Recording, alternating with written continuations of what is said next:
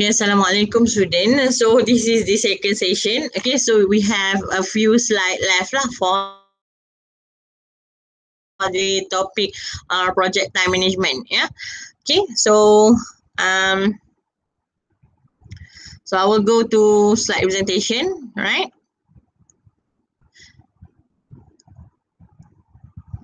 Okay.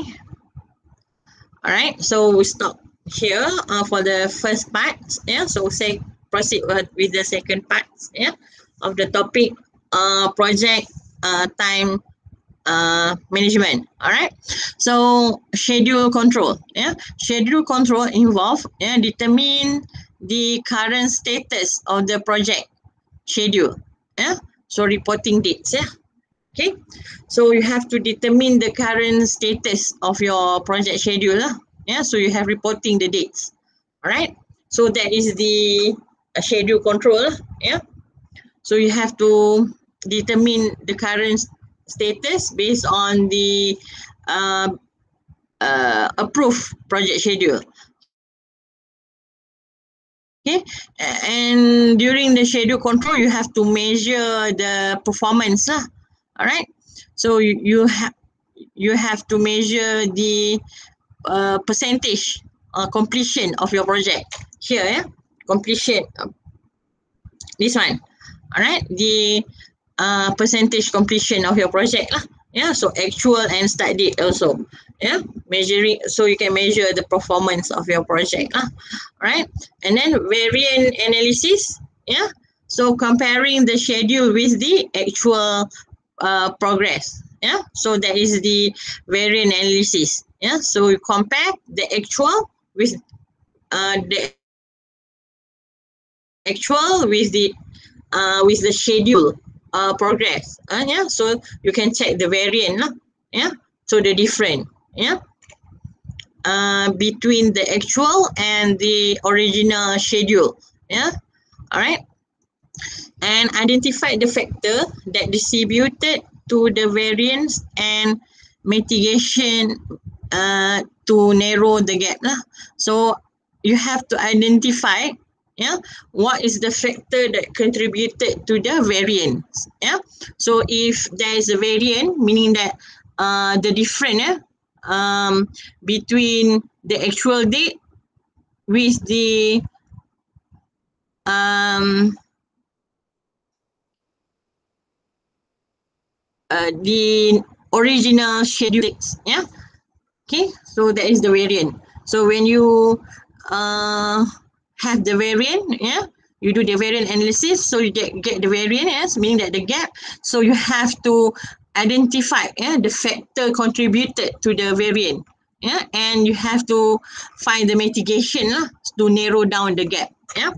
So by example here, yeah, so this is the uh, plan or baseline curve lah yeah so this one this original curve okay? So this is the uh, actual progress yeah? So when they have a variant here yeah? So the different yeah? Okay so you have to um during the schedule control yeah? So you have to uh, identify lah what is the factor yeah that contribute to the variant.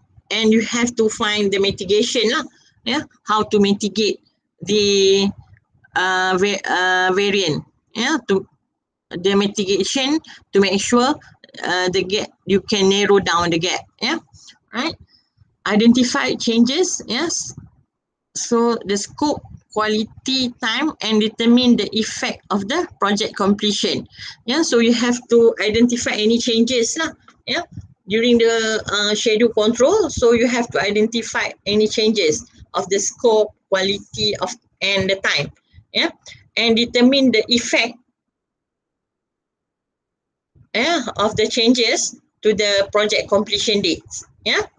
Right because you want to manage the time and so you have to uh, identify lah the any changes that will affect the completion of the completion date of your project yeah? So you have to determine the effect lah of each of the changes uh, that um, agreed yeah, for your project, right? And then managing the changes as they occur, yeah. So you have to manage lah, all the changes, yeah. Make sure the changes can uh, also complete within the time frame, all right? So that you can finish your project on time lah, all right? Okay, so this is the example. Yeah, actually, this is the example of the S curve. Yeah, so um, you can see the progress performance of your project. Yeah, based on the S curve. Yeah, normally when you uh, attend yeah for the uh, site meeting. Yeah, so the contractor have to present this S curve. Yeah, so from the S curve, everybody will know the progress of the project lah, whether it's a hit or slow yeah. Yeah. So if the project uh, if the curve is uh, uh, at the top so meaning that your project is a hit lah. so meaning that your project is good lah. the performance of your project is good. Yeah. If your S curve is below the original uh, uh, baseline meaning that your project is delayed. Yeah if your curve is here, yeah, at the if your curve is like this, yeah, and the actual progress ni, yeah, progress is uh, on top of the baseline, yeah, meaning that your project is a hit lah, yeah. Yeah, meaning that your activity is a hit. Yeah, it's good. Yeah, yeah. If your project is below yeah the baseline meaning that your project has been delayed. Yeah. So from the S curve you can know the progress of your project lah. All right okay. So actual uh compare actual progress yeah. So this is the uh actual yeah. So this is the plan progress yeah. So this is what you have planned yeah. So this is the uh, actual uh, uh, actual activities uh, uh, in a construction. Right. So from here, you can track whether your project is a hit or delay. Yeah, understand how the project moving. All right. Okay.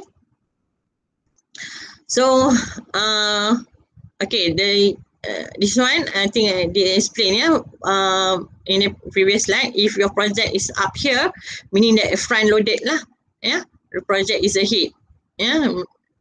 All right if your um uh, project is below the original baseline yeah meaning that your project is delay the red color one and backloaded all right so for the summary yeah to effectively manage and complete a project, manager must be able to effectively manage resources and project activities lah. Yeah. So as a project manager, you have to be able eh, to effectively manage your resource and activity so that you can complete your project within the time frame lah. Right. So I think um this uh, this is the last slide. Okay. Thank you so much for your attention. Okay, so if you have any question, you can ask in the um, WhatsApp group. All right. Okay. And thank you so much. Bye bye, student. See you on the next check uh, topics. All right.